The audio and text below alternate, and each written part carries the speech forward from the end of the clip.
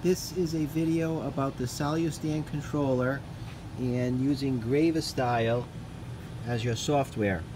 And you can see I have a centered part and I want to place it in the center of this vise.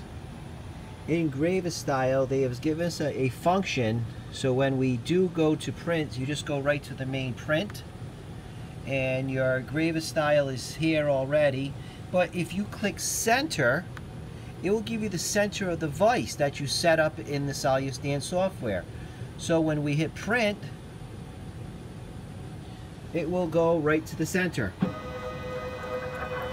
Now where I set this up is in Origin Setup.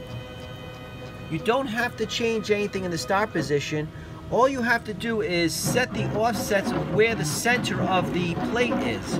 So Gravostyle will uh, estimate where the center is, and then you just have to set the offsets to get it correct.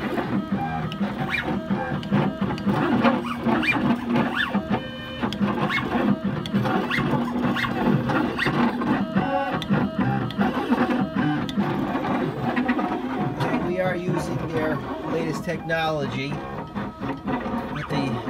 LMV controllers.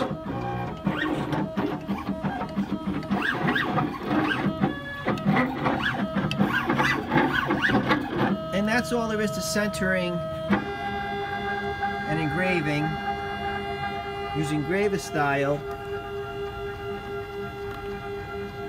with link motion.